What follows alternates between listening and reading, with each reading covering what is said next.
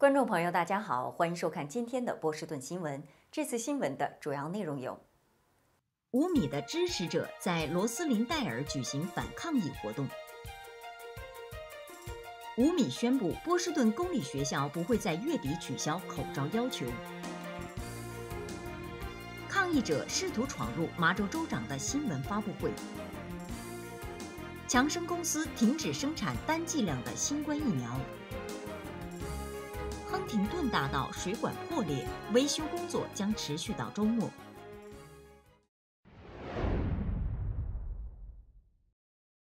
波士顿市长吴米的支持者周四上午聚集在他在罗斯林戴尔的家门口，以示对该市疫苗要求的声援。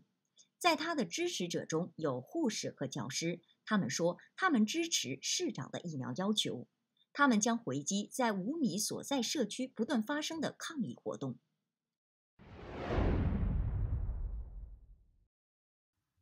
在麻州州长查理·贝克宣布他将在本月底解除全州学校口罩要求后的第二天，波士顿市长吴米宣布该市的学校将做出同样决定前再花一些时间。贝克周三宣布，全州的口罩要求将于二月二十八号结束，但各区仍可根据他们认为合适的情况制定自己的要求。吴米说，波士顿将是这些地区中的一个。他周三上午说：“我们希望看到几周的下降趋势，然后再取消口罩要求。”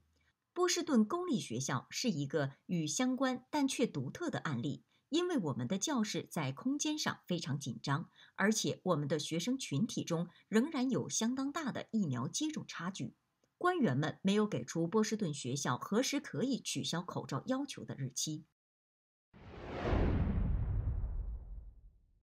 周三上午，约有十名抗议者冲开了麻州议会大厦的保安。当时，州长查理·贝克正在图书馆就结束该州的学校口罩要求举行新闻发布会，但他们没有进入该房间。据新闻处称，抗议者对新冠限制和州议会大厦不对公众开放感到不满。州警察局发言人戴夫在一份声明中说：“下午十二点三十分左右，所有的抗议者都离开了大楼，没有人被捕。”由于大流行病，州议会大厦已经对公众关闭了二十三个月。贝克周三告诉记者，他认为议会大厦应该开放。据《纽约时报》报道，制药商强生公司已经停止了其单剂量新冠疫苗的生产。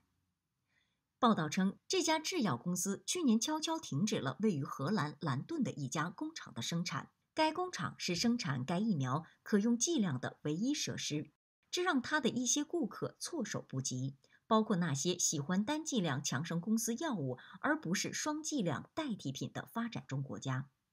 报道称，强生公司反而利用该工厂来研究一种实验性的、可能更有利可图的药物。这种药物是可以防止一种不相关的呼吸道疾病。该工厂预计将恢复新冠疫苗的生产，但目前还不清楚何时恢复。强生公司没有对工厂关闭的报道发表评论，但在给 CBS 新闻的一份声明中说：“我们目前有数百万剂的新冠疫苗库存，我们继续对非洲联盟履行我们的合同义务。”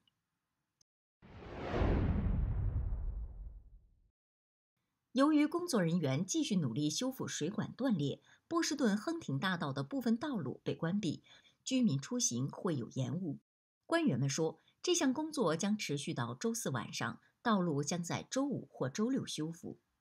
据波士顿警方称，漏水事件发生在星期三晚上，地点在亨廷顿大道和环路的交叉口附近。警方说，亨廷顿大道在埃克塞特和西牛顿街之间被关闭。目前没有人员伤亡的报告。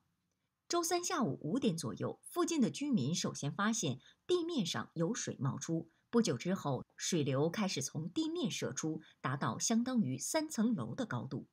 虽然供水和污水处理委员会说他不知道有谁正经历着停水，但一些住在该地区的人们说，在得知他们的供水被关闭后，他们打算从该商店买水。以上是这次波士顿新闻的全部内容，感谢您的收看，再见。